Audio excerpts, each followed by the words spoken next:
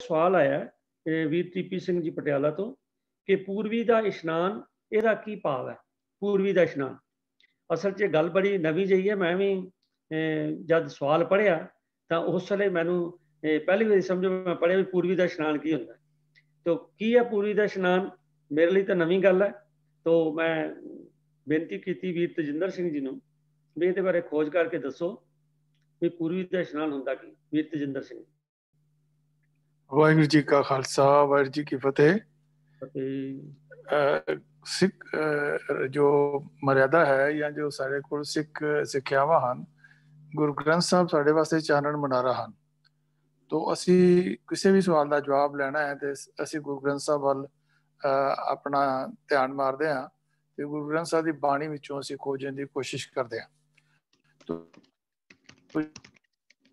ਜਿੱਥੇ ਤੱਕ ਸਵਾਲ ਦੀ ਗੱਲ ਹੈ ਕਿ ਪੂਰਵੀ ਇਸ਼ਨਾਨ ਕੀ ਹੈ ਤਾਂ ਇਥੋਂ ਇਹ ਲੱਗਦਾ ਹੈ ਵੀ ਇਹ ਕਿਸੇ ਤੀਰਥ ਜਾਂ ਕਿਸੇ ਨਦੀ ਦੀ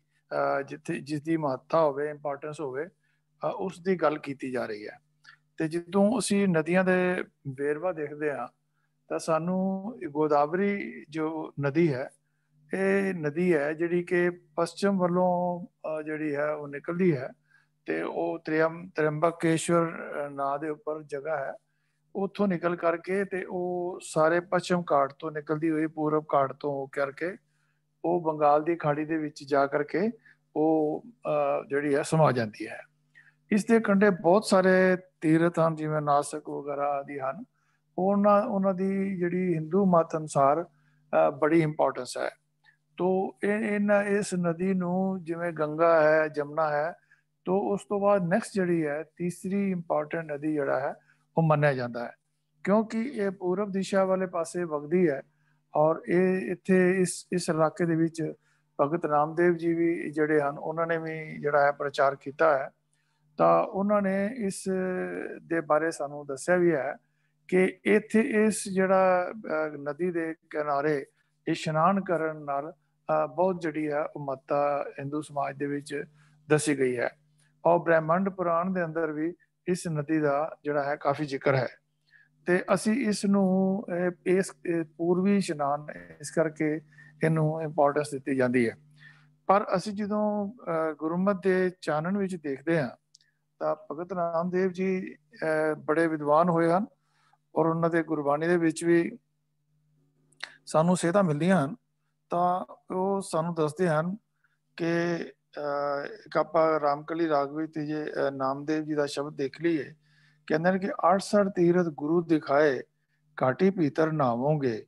ਕਿ ਮੈਨੂੰ ਤਾਂ ਮੇਰੇ ਗੁਰੂ ਨੇ ਮੇਰੇ ਅੰਦਰ ਹੀ 68 ਤੀਰਥ ਦਿਖਾ ਦਿੱਤੇ ਹਨ ਜੇ ਸੋ ਮੈਂ ਆਪਣੇ ਘਰ ਅੰਦਰ ਹੀ ਆਤਮ ਤੀਰਥ ਉਤੇ ਇਸ਼ਨਾਨ ਕਰਦਾ ਹਾਂ ਪੰਜ ਸਹਾਈ ਜਨ ਕੀ ਸੋਭਾ ਭਲੋ ਭਲੋ ਨਾ ਕਹਾਵੋਗੋ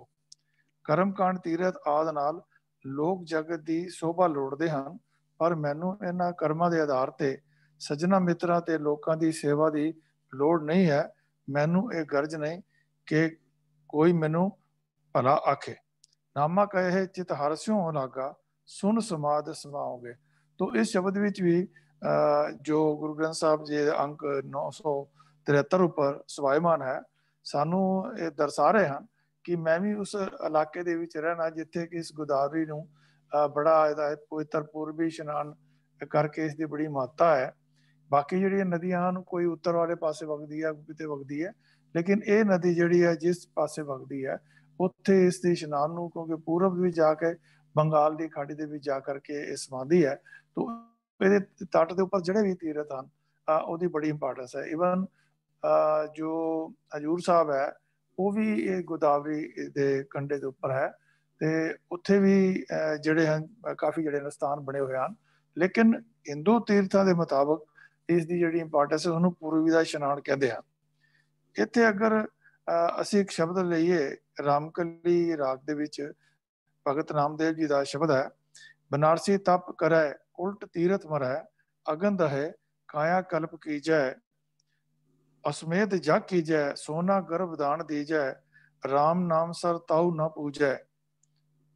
ਇਸ ਵਿੱਚ ਸ਼ਬਦ ਵਿੱਚ ਵੀ ਸਾਨੂੰ ਕਰਦੇ ਹਨ ਕਿ ਭਾਵੇਂ ਕੋਈ ਵੀ ਬਨਾਰਸ ਦੇ ਉੱਪਰ ਜਾ ਕਰਕੇ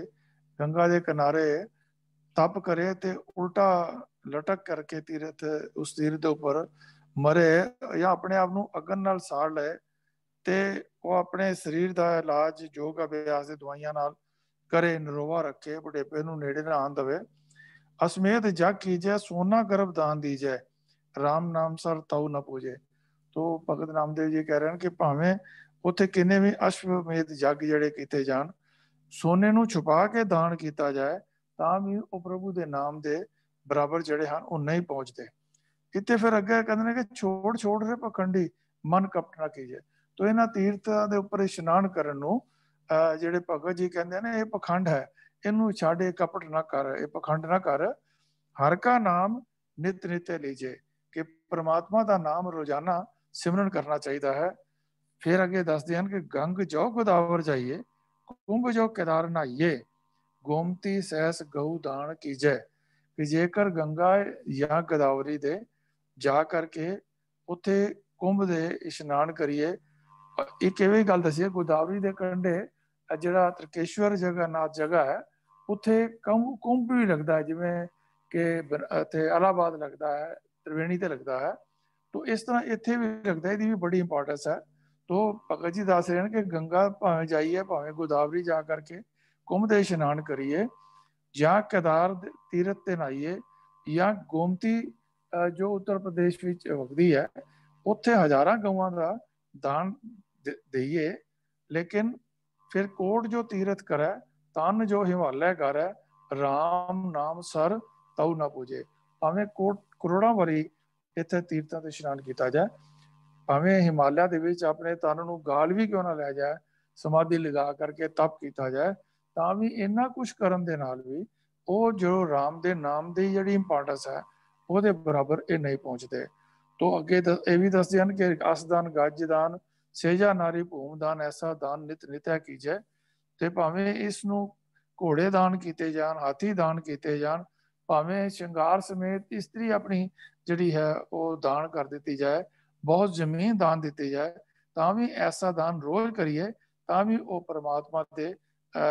ਨਾਲ ਨਾਮ ਦੇ ਬਰਾਬਰ ਨਹੀਂ ਕਰ ਸਕਦੀ ਆਤਮ ਜੋ ਨਿਰਮਾਇਲ ਕੀ ਜਾਏ ਜੇ ਆਪਣਾ ਆਪ ਹੀ ਭੇਟ ਕਰ ਦਈਏ ਤੇ ਆਪਣੇ ਬਰਾਬਰ ਸੋਨਾ ਵੀ ਦੇ ਦਈਏ ਤਾਂ ਹੀ ਇਹ ਸਾਰੇ ਕੰਮ ਪ੍ਰਭੂ ਦੇ ਨਾਮ ਦੀ ਬਰਾਬਰੀ ਨਹੀਂ ਕਰ ਸਕਦੇ ਸੋ ਜਿੱਥੇ ਅਸੀਂ ਪੂਰਵੀ ਇਸ਼ਨਾਨ ਦੀ ਗੱਲ ਕੀਤੀ ਹੈ ਕਿ ਜਿਹੜੇ ਗੋਦਾਵਰੀ ਦੇ ਕੰਢੇ ਦੇ ਉੱਪਰ ਇਸ਼ਨਾਨ ਕਰ ਪੂਰਵੀ ਇਸ਼ਨਾਨ ਕਰਦੇ ਹਨ ਉਹਦੀ ਬੜੀ ਇੰਪੋਰਟੈਂਸ ਹੈ ਲੇਕਿਨ ਅਸੀਂ ਇਹ ਵੀ ਗੱਲ ਕਲੀਅਰ ਕਰਨੀ ਹੈ ਕਿ ਗੁਰਮਾ ਦੇ ਪੁਆਇੰਟ ਪੁਆਇੰਟ ਆਫ View ਤੋਂ ਇਹਨਾਂ ਤੀਰਥਾਂ ਦੇ ਉੱਪਰ ਕੀਤੇ ਹੋਏ ਇਸ਼ਨਾਨ ਦਾਨ ਆ ਜਿਹੜੇ ਵੀ ਪਖੰਡ ਹਨ ਜਾਂ ਕਪਟ ਹਨ ਉਹਨਾਂ ਦੀ ਗੁਰਮਤ ਵਿੱਚ ਕੋਈ ਪ੍ਰਵਾਨਗੀ ਨਹੀਂ ਕੇਵਲ ਔਰ ਕੇਵਲ ਪਰਮਾਤਮਾ ਦਾ ਨਾਮ ਸਿਮਰਨ ਹੀ ਗੁਰਸਿੱਖ ਵਾਸਤੇ ਸਭ ਤੋਂ ਉੱਤਮ ਜਿਹੜੀ ਹੈ ਉਹ ਕਾਰਜ ਹੈ ਇੰਨੀ ਕੁ ਸੇਵਾ ਪ੍ਰਵਾਨ ਕਰੋ ਵਾਹਿਗੁਰੂ ਜੀ ਕਾ ਖਾਲਸਾ ਵਾਹਿਗੁਰੂ ਜੀ ਕੀ ਫਤਿਹ ਤੇ ਸਿੱਖੀਜ਼ਮ ਵਿੱਚ ਨੋ ਫਾਰਮੈਲਿਟੀਜ਼ ਕੋਈ ਦੇਖਣ ਵਾਲੀ ਗੱਲ ਜਿਹੜੀ ਨਹੀਂ ਹੈ ਮਨ ਦੀ ਤਬਦੀਲੀ ਹੈ ਤੋਂ ਸਾਰਾ ਗੱਲ ਜਿਹੜਾ ਉਹਦੇ ਤੇ ਵੀਰ ਜੀ ਨੇ ਬੜੇ ਡਿਟੇਲ ਵਿੱਚ ਔਰ ਬਹੁਤ ਸਾਰੀਆਂ ਐਗਜ਼ਾਮਪਲਸ ਦੇ ਕੇ ਦੱਸਿਆ ਕਿ ਕਿਸੇ ਪਾਰਟਿਕੂਲਰ ਜਿਵੇਂ ਪਹਿਲੇ ਬੇਨਤੀ ਕੀਤੀ ਹੈ ਵੀ ਕਈ ਵਾਰੀ ਆਲੇ ਦੁਆਲੇ ਵਾਲ ਦੇਖ ਕੇ ਸਾਡੇ ਮਨ ਤੇ ਪ੍ਰਭਾਵ ਆ ਜਾਂਦਾ ਦੂਜੇ ਮਤ ਵਿੱਚ ਹੋਏਗਾ ਪੂਰਵੀ ਦਾ ਇਸ਼ਨਾਨ ਜਾਂ ਕੋਈ ਹੋਰ ਪੱਛਮੀ ਦਾ ਇਸ਼ਨਾਨ ਪਰੰਤੂ ਸਾਡੇ ਮਤ ਵਿੱਚ ਭਾਵ ਗੁਰੂ ਨਾਨਕ ਜਿਹੜੇ ਗੁਰੂ ਗ੍ਰੰਥ ਸਾਹਿਬ ਜੀ ਨੂੰ ਮੰਨਣ ਵਾਲੇ ਨੇ ਗੁਰੂ ਨਾਨਕ ਨਾਮ ਲੈਵਾ ਉਹਨਾਂ ਲਈ ਇਹੋ ਜਿਹੇ ਸਪੈਸ਼ਲ ਤੌਰ ਤੇ ਕੇਵਲ ਇਸ਼ਨਾਨ ਕਰਨ ਲਈ ਜਾਣਾ ਕੋਈ ਮਹੱਤਵ ਨਹੀਂ ਹੈ। ਬੜੇ ਹੋਰ ਸ਼ਬਦ ਨੇ, ਸਾਡੇ ਕੋਲ ਸਵਾਲ ਵੀ ਹੋਰ ਆਏ ਨੇ। ਇਹਦੇ ਸਬੰਧ ਵਿੱਚ ਉਹ ਵੀ ਜੇ ਸਮਾਂ ਹੋਏਗਾ ਤੇ ਉਹ ਆਪਾਂ ਕਰਾਂਗੇ, ਨਹੀਂ ਤੇ ਅਗਲੇ ਹਫ਼ਤੇ ਕਰਾਂਗੇ।